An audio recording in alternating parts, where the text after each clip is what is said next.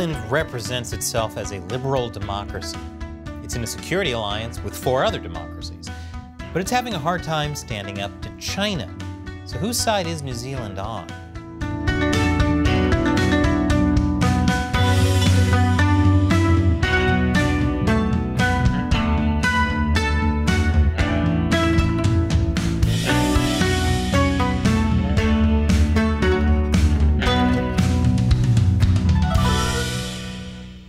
To Uncensored. I'm Chris Chappell. New Zealand Prime Minister Jacinda Ardern resigned as Prime Minister in January after almost six years in office. Officially, she resigned because of burnout. But her approval ratings had plummeted at home, jeopardizing her re-election prospects. Many people think she resigned so she didn't have to face defeat in the next election, which I can relate to. I hate losing too, which is why once I become supreme leader for life, there won't be any elections after that. Problem solved. Internationally, Ardern was known as a liberal icon who's all about a politics of kindness, which, if you follow politics, sounds like an oxymoron. Kind politics is like a no touch massage that's just a nap with company. Ardern promised that her Labour Party would lead a government of transformation. Now, if the Labour Party had taken on transforming avocado toast, that might have been doable. Throw on an egg, maybe some radishes. That's a transformed toast. But a whole country? No wonder they had to switch it to foundational change.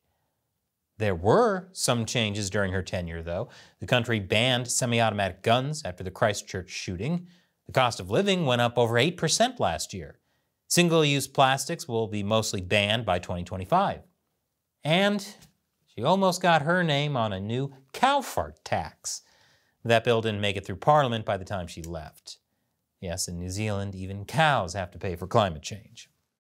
Honestly, I'd be okay with taxing some humans who fart, especially in airplanes. I don't care if we're 40,000 feet in the air, we're still living in a society. But one thing that didn't change under Ardern was New Zealand's cozy relationship with China. Now, you might think that given her progressive bona fides, Ardern would be vocal about China's human rights abuses. After all, empathy was kind of her thing. But her track record on calling out China for its human rights abuses was a solid F. That's not empathy, it's empafail. New Zealand did release a statement with Australia expressing grave concerns about China's treatment of Uyghurs in Xinjiang. They had to tag along with Australia just to say they're concerned I've seen interventions with stronger language. And that was over drinking and not, you know, genocide. And on Hong Kong, the government released several statements expressing more concerns about the Chinese Communist Party taking it over. I assume the Uyghurs and Hong Kongers are also concerned that expressing concern is as far as New Zealand was willing to go. But Ardern's Labour Party made sure any mention of genocide was removed from a motion on Uyghur persecution before it was even debated in Parliament. And earlier last year, New Zealand bowed out of a joint statement condemning arrests in Hong Kong under the national security law. While it supported other countries' sanctions over Hong Kong, New Zealand didn't implement any itself. Because committing genocide and imprisoning political dissidents is one thing, but calling them out on it, that doesn't sound like the politics of empathy. Before a trip to China in 2019, Human Rights Watch called on Ardern to say something publicly about China's human rights abuses, which she didn't. For years, New Zealand has relied almost exclusively on private diplomacy on human rights, a practice Chinese officials prefer because it enables them to behave as if such discussions have never taken place at all. More important, though, there's no loss of face. The Chinese Communist Party can't stand people calling out its human rights abuses publicly, kind of like what I'm doing right now. So definitely don't share this video. Wouldn't want to upset the CCP now, would we? But that's actually the least of New Zealand's cowardice when it comes to China. I'll tell you more after the break. Welcome back. New Zealand is part of an intelligence sharing network called the Five Eyes. It was started after World War II and includes the US, UK, Canada, Australia, and New Zealand. For years now, New Zealand has been considered a weak link in the network because of its ties to China. And if we're being honest, also because of Thor, Love and Thunder. How could they let Taika Waititi put out a stinker like that?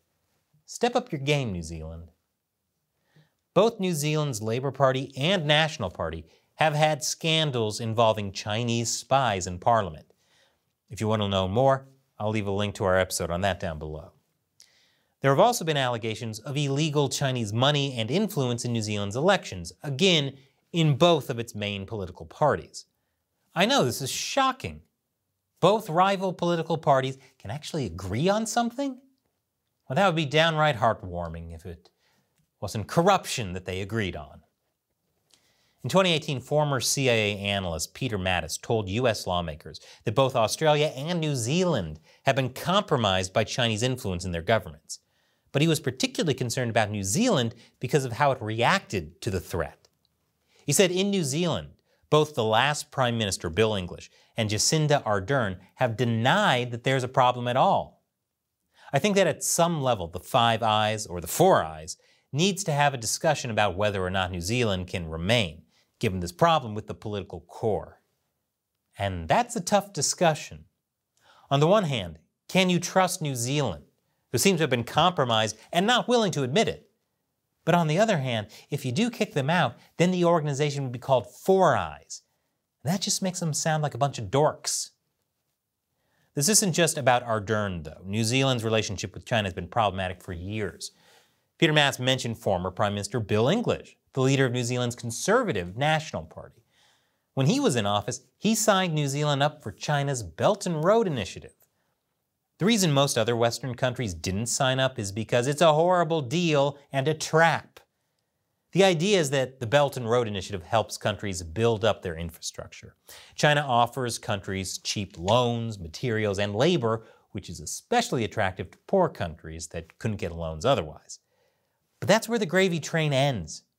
China has been known to install spyware in its infrastructure, to take over projects when the country can't pay back the loan, or build infrastructure that's so crappy the country can't even use it.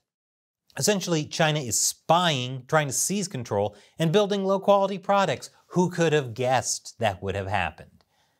That's like renting an Airbnb from Amber Heard and being shocked to find the bed sheets aren't clean.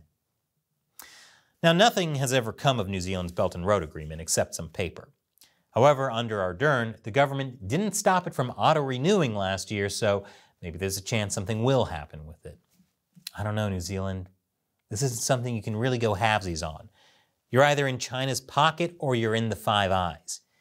You can't have your transformed avocado toast and eat it too. But trade relations between China and New Zealand get even chummier than that. I'll explain why this is such a problem right after the break. Welcome back. In 2008, New Zealand Labour Prime Minister Helen Clark signed a free trade agreement with China. Ardern's government signed a revised free trade agreement again in 2021. So while New Zealand is already on its second round of a trade deal with China, and it says it's working on one with the EU, it doesn't have anything with the US. The reason I mention this is because New Zealand very conspicuously says that at the top of the government's trade website. It's almost like they're proud they have a better trade relationship with China than the US, which is kind of like being proud that instead of using the postal service, you send all your mail via courier penguin. Man, it's no wonder people want them out of the Five Eyes. That's like spitting in the United States eye and then sharing it on social media. New Zealand was also the first Western country to support China's membership into the World Trade Organization, which turned out to be great for China, but mostly a disaster for the rest of the world. Which is kind of the MO for all of China's policies. Does New Zealand like China because they're into bad boys or something? Grow up, New Zealand. Bad boys might be fun to date, but they'll never make a good long term partner. And yet, New Zealand has become so totally dependent on China. China is New Zealand's biggest trading partner, and by a lot. Last year, China bought almost a quarter of all of New Zealand's exports. Agricultural products like meat and dairy are New Zealand's biggest exports, besides underwhelming Taika Waititi films. China buys up about a third of all of New Zealand's dairy exports, and about 40% of its meat. Essentially, China has made itself the center of New Zealand's economy, which is a huge reason for New Zealand's politicians to keep their mouths shut about China's human rights abuses. Oh, so kind politics is actually short for kind of short sighted politics. Gotcha. New Zealand's in a major cost of living crisis, and it's also dealing with a weak economy thanks to COVID. If China were to pull the plug on New Zealand's imports right now, it would be devastating to the economy. As the head of the New Zealand's International Business Forum put it, New Zealand has a lot at stake in this relationship. It has no domestic market to rely on, and it can't replace Chinese consumption anywhere else in the world. So, yeah, China has New Zealand between a rock and a hard place, which isn't a surprise because A, that's what China does, and B, New Zealand is like 90% rocks and hard places. Now, it's not like some abstract fear that China will use trade to retaliate if New Zealand says things Beijing doesn't like. New Zealand watched China do exactly that to Australia in 2020, after Australian Prime Minister Scott Morrison called for an independent investigation into the origins of COVID. China put an unofficial trade ban on Australian wine, lobsters, timber, barley, and coal. I'm not sure if China thought this ban would somehow fly under the radar, but nothing says guilty like, I'm going to punish you for trying to investigate me. Now, New Zealand exports are also a big deal for China. At one point, China said New Zealand made up half of its dairy imports. For more on why China is so crazy about New Zealand dairy, check out this interview we did with a New Zealand farmer. I'll put a link to that in the description below. But as you can see, New Zealand has basically joined itself at the hip to China. And this is why the government walks on eggshells when it says anything the Chinese regime might consider sensitive. Things like, they're actively committing genocide. Whoops. Again, definitely don't want to share this video, wouldn't want to upset the Chinese Communist Party, would you? When New Zealand said it wanted its foreign policy to be separate from the Five Eyes, many people read this as New Zealand saying it wouldn't be joining the US coalition against China anytime soon. Even when talking about China's blatant aggression in the region, Ardern euphemistically called it assertiveness. And instead of saying China's a trade threat, she framed the need to diversify the countries New Zealand sells to as being about resilience. Those are some impressive euphemisms. That's like calling a rear naked choke a hug with benefits. New Zealand's foreign minister was a little more blunt, though. She predicted New Zealand would find itself at the center of a trade storm with China and warned exporters to start finding other markets. But Ardern is out of office now, and you're probably wondering what the new prime minister's take on China is. Well, until the next election in October, Labour Party leader Chris Hipkins is the prime minister. There was some optimism at the start that he would do better at standing up to China, saying he'll voice disagreements, but in the same breath, he called the relationship very important. And he said a trip to China is a high priority. I'm not mad, New Zealand. I'm not even disappointed. Because to be disappointed, I'd need to be surprised. Oh, and he also said our foreign policy position hasn't changed just because there's a change of prime minister.